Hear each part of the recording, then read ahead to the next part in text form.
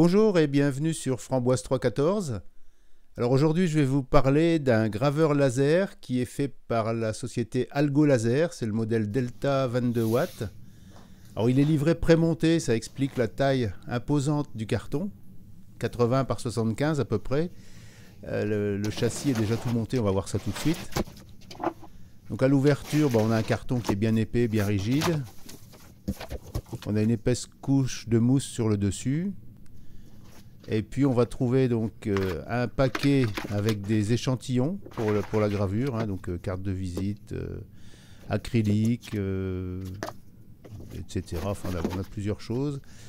on a un manuel d'utilisateur qui est bien fait, qui est, joli, qui est, glacé, ainsi qu'un manuel d'utilisateur pour le, le Air Assist. Et on a une plaque de contreplaqué pour les tests également.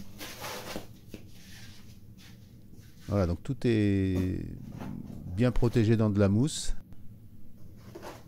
Alors ça c'est le Air Assist avec son système de, commande. On a, on a, un système qui permet d'augmenter ou de diminuer le volume d'air envoyé par le compresseur. L'alimentation. Alors comme on a un laser de 22 watts, on a une alimentation 24 volts, 7 ampères 5.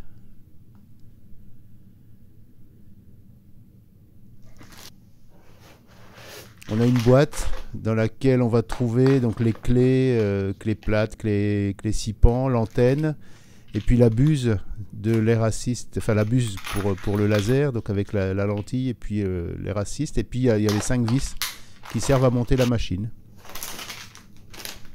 Le câble qui permet de relier le PC au graveur, et puis le tuyau pour l'air assist. Vous verrez de plus loin comment on fait pour le monter la classique prise secteur, et puis des lentilles de rechange et les, trucs blancs là, c'est les doigtiers pour éviter de mettre les doigts sur, la lentille. Les lunettes, alors c'est des lunettes standards, il n'y a pas de marquage CE, donc moi je préfère toujours mes, lunettes perso euh, un peu plus chères mais avec un marquage CE. Le laser,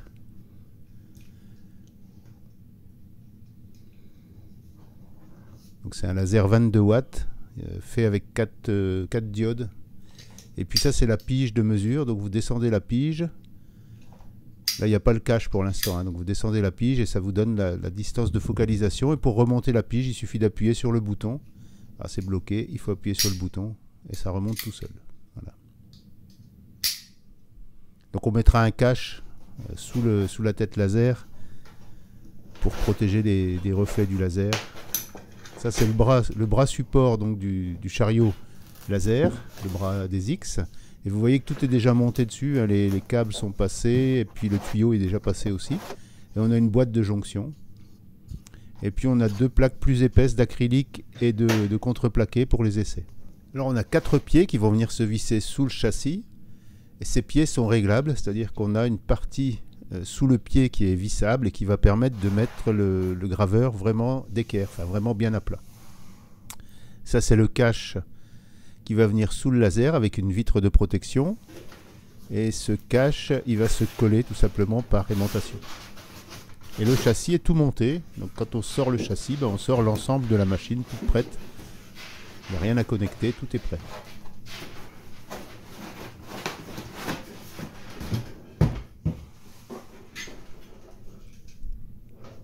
On va juste avoir à fixer le, bras des X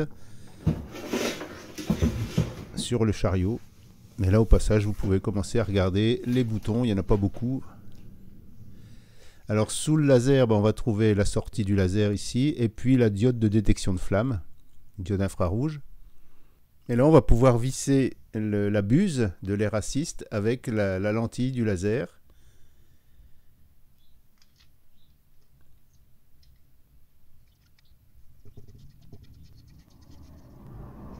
Voilà, c'est prêt, on peut mettre le laser en place. C'est une queue d'aronde avec un levier. Donc le, levier débloque la queue d'aronde. On met le laser en place. Et pour resserrer la queue d'aronde, il suffit de relever le levier. Voilà, c'est levé. C'est levé, c'est verrouillé. Et vous voyez que sur la droite, il y a la courroie qui pend là et qu'il faudra fixer tout à l'heure. On va prendre les quatre petites vis, elles ont du frein filet. Et ces quatre petites vis, elles vont fixer le bras.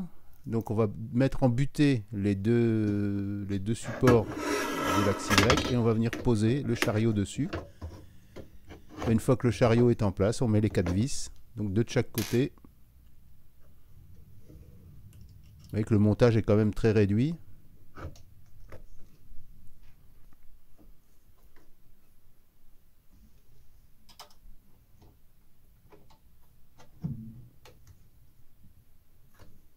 Moi je mets les vis en place et je les serre en finale. Donc il faut s'assurer que le chariot est bien embuté des deux côtés pour qu'il soit bien parallèle à la face avant.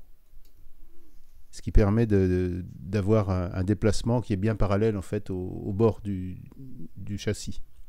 Donc la courroie, il va falloir la mettre en place. Donc pour la mettre en place, ben, on va tendre la courroie et le tendeur va venir se positionner ici en bout dans une encoche on va mettre une vis dessous. Donc c'est la vis qui reste dans la boîte en fait. On va mettre une vis dessous qui va venir tirer sur, euh, le tendeur. Alors il manque la vis euh, sur le côté. Donc j'en rajouterai une moi parce qu'il n'y a, a pas la vis de blocage du tendeur. Donc ça c'est la vis de tension qu'on va mettre en place.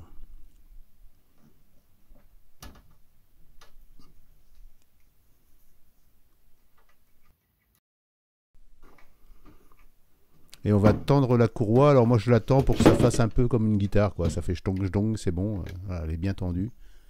Si elle n'est pas assez tendue, vous perdez des pas, vous risquez de perdre des pas et donc de, décaler en fait le, chariot par rapport à ce qui est prévu. Là ensuite je monte l'antenne Wi-Fi qui se trouve sous le châssis. Là on a le bouton d'arrêt d'urgence qui est éclairé dans le noir et puis la, la clé de sécurité qui permet de bloquer la machine. L'écran, et le bouton power au-dessus, le bouton euh, arrêt marche. Et sur le côté, on a euh, de quoi mettre une clé USB, la prise USB-C pour se relier au PC, l'alimentation du R-Assist et tout en bas l'alimentation euh, de la machine. Alors ça c'est le cache avec le verre filtrant.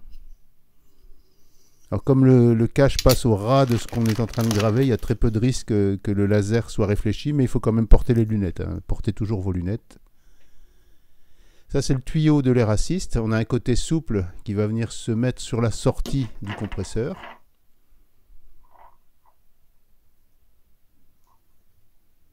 Et l'autre côté, c'est un raccord pneumatique classique, c'est-à-dire que vous enfoncez le tuyau dedans et ça se bloque. Et pour le débloquer, il faudra appuyer sur le petit euh, anneau noir. Ça permet de débloquer le tuyau. Donc là, on enfonce le tuyau, c'est bloqué. Et si vous appuyez sur le petit anneau, comme ça, ça débloque. J'appuie sur l'anneau, je tire et c'est débloqué. Le, compresseur est monté sur des pieds très souples, donc il ne fait pas vibrer la table. Vous pouvez le laisser fonctionner à côté sans problème. Ça, c'est la prise, une prise de bonne qualité aussi.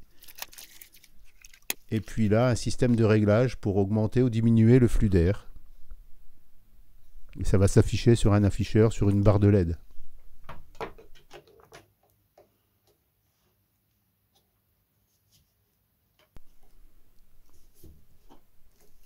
Puis sur le dessus du compresseur, si vous enlevez cette plaque, dessous vous allez trouver le filtre à air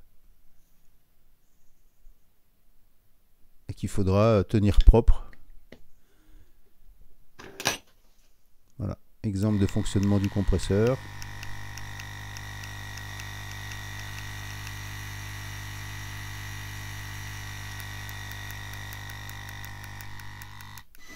Et puis on peut lancer les tests de gravure.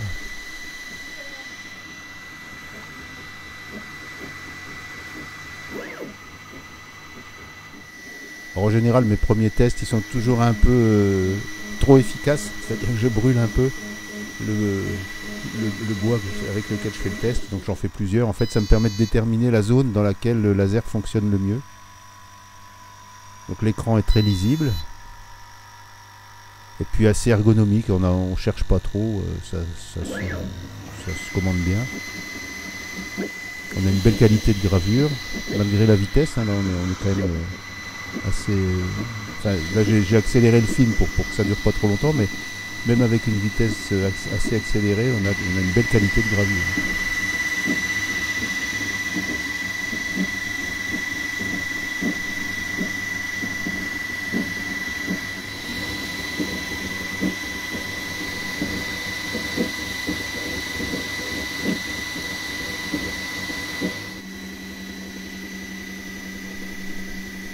C'est vitesse normale.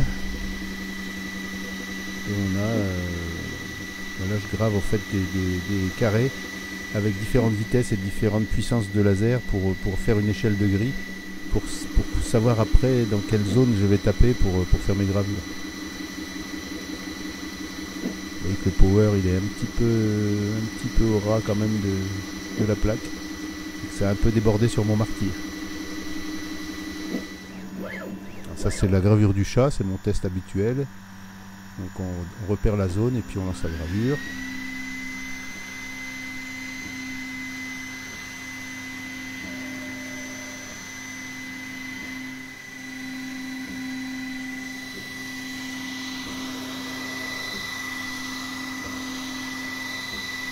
Avec un résultat qui est intéressant puisque vous voyez les moustaches sont bien sont fidèlement reproduites. C'est souvent là, le défaut en fait. Hein. Euh, si, le laser euh, ne repasse pas toujours au même endroit ou si le réglage n'est pas bon, ben, on n'a pas cette finesse des moustaches. Bon là après c'est quelques tests de gravure, euh, de gravure de texte et puis découpe de, de forme. Avec la gravure là se fait bien. C'est très mécaniquement c'est de bonne qualité puisqu'on n'a pas de décalage du tout hein, sur les bordures des lettres.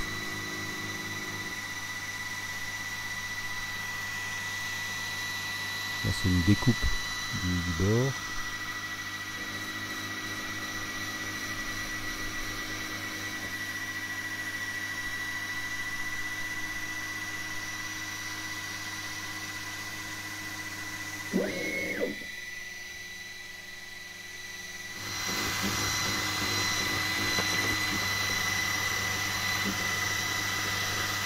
Il y a différents tests pour voir euh, combien, combien il faut de passes, quelle vitesse, etc.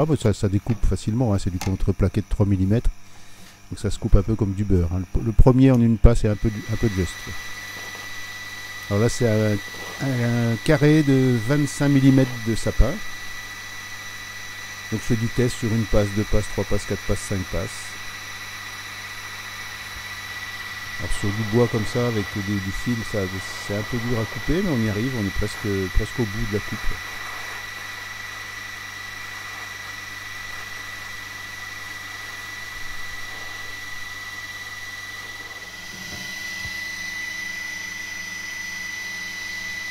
on est quand même euh, presque, presque à 25 mm, on est au moins à 20 mm de coupe.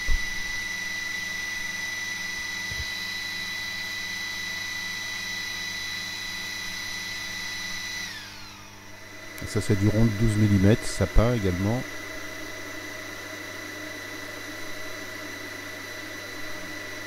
là on voit qu'en deux passes, ça y est, c'est cassé, c'est coupé.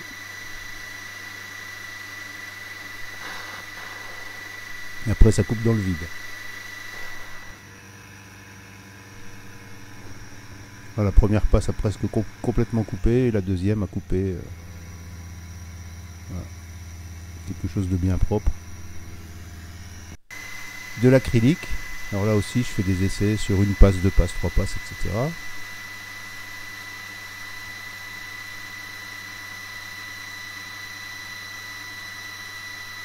On voit la lueur du laser dans la découpe. Alors ce qui est bizarre, c'est que le papier du dessous, en fait, reste euh, intact, alors que c'est coupé. En fait, c'est coupé jusqu'au bout. je poussais un peu, sa casse, et c'est le papier du dessous qui reste... Euh, qui reste intact. Une passe de plus, je pense, mais pas sûr. Hein. C'est un peu bizarre comme effet. Et là, on voit bien la profondeur de coupe.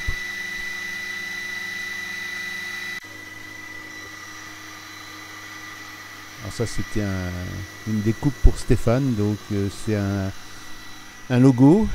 Donc là, je découpe le, cadre, en fait. Et puis après, à l'intérieur du cadre, bah, je vais graver le logo. Le logo à graver.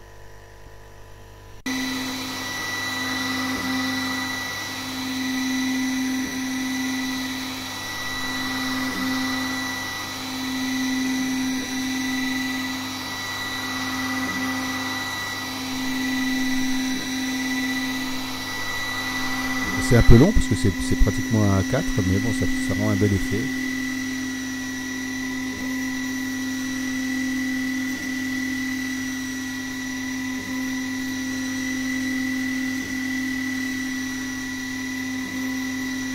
Mécaniquement, la machine a l'air bien, stable, bien fiable. hein. Il n'y a pas de décalage, c'est vraiment, net.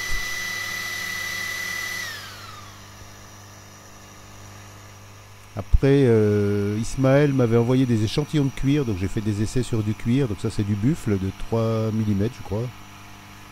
C'est le 3 mm, ça se coupe facilement, ça laisse pas de traces, c'est bien propre.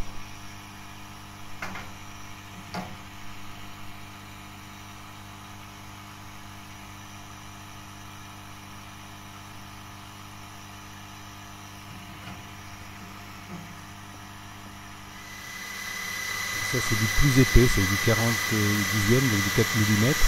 Ça coupe bien, c'est juste le, la dernière croûte euh, qui est dessous qui reste un petit peu euh, solide. Ah oui, c'est bien coupé. Là aussi une passe de plus.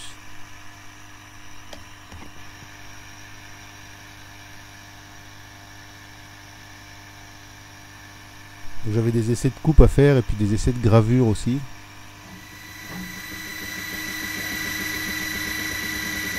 Si je fais de la gravure euh, avec des lignes touche-touche, des lignes, à, on va dire euh, 254 lignes par pouce, on est à un dixième. Je trouve que ça fait un peu, un peu sombre. Donc après j'ai fait des tests en mettant une ligne sur deux, donc 124 euh, lignes par pouce. Ah, ça c'est un essai de gravure sur du papier craft. Le papier craft c'est très fin, mais on arrive quand même à, à graver juste euh, en surface. Alors si on va un peu trop loin, ça fait une espèce de dentelle, et puis sinon, bah, on, on arrive à avoir cet effet euh, où on voit le- la, gravure, mais sans avoir détérioré le papier. Bon, j'ai fait aussi des essais sur de la feuille de laurier, ça c'est anecdotique. Et puis ça c'est de la, de la vachette, je crois, 16 dixièmes, de la vache. Voilà, donc ça fonctionne bien. Et moi, c'est une machine qui m'a bien intéressé, qui est rassurante. Je vous remercie d'avoir regardé cette vidéo et puis je vous dis à bientôt sur Framboise 314.